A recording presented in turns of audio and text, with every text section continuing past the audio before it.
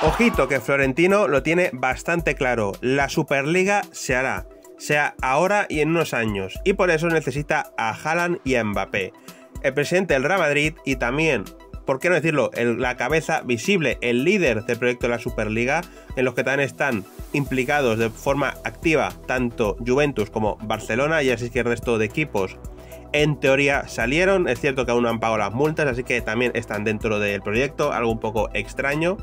Y al parecer, eh, Florentino tiene claro, la Superliga se hará, ya sea ahora mismo o ya sea, como digo, en un futuro, igual en conversaciones con una UEFA más abierta y que cambie el formato de la Champions y lo adapta al de la Superliga, pasando a ser un proyecto real, ¿no? Está claro que el Ceferín va a hacer todo lo posible para seguir teniendo toda la potestad de esta máxima competición, pero Florentino sabe que con la ley de su lado lo va a conseguir y por esto mismo está esperando y necesita fichar tanto a Mbappé como a Haaland.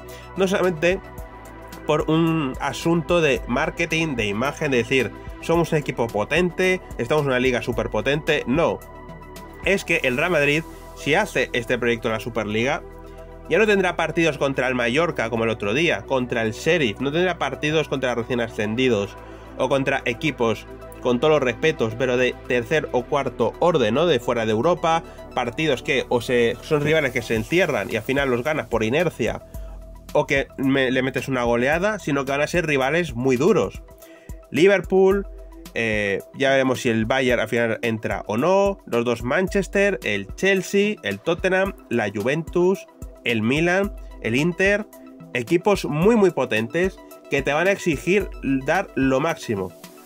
Es cierto que esto también es bueno, lo estamos viendo en la Premier League. A más competencia de calidad, mejor equipo, porque para ganar esos equipos tienes que tener un equipazo y esa competitividad se lleva a Europa, ¿no? Por ejemplo, eh, está visto como el Real Madrid en esta liga tan falta de calidad, con un Barça en decadencia, con un Atlético de Madrid que gana a base de ser Amarrategui y sobre todo con un Real Madrid que está a un falto de una estrella mundial como era Cristiano Ronaldo, estamos viendo cómo llega a Europa y llegan equipos que están a un, a un nivel superior, como el Chelsea, como el City, están a una marcha más que el Madrid. Y por eso el Madrid necesita reforzarse con los mejores del mundo. Y ahí están Mbappé y Haaland. Necesitas formar un equipo realmente competitivo para intentar asaltar esta competición. Veremos si el Madrid consigue hacerse con los servicios de estos dos cracks y sobre todo si Florentino tiene razón y la Superliga se acaba imponiendo. Un saludo a todos y nos vemos en el próximo vídeo.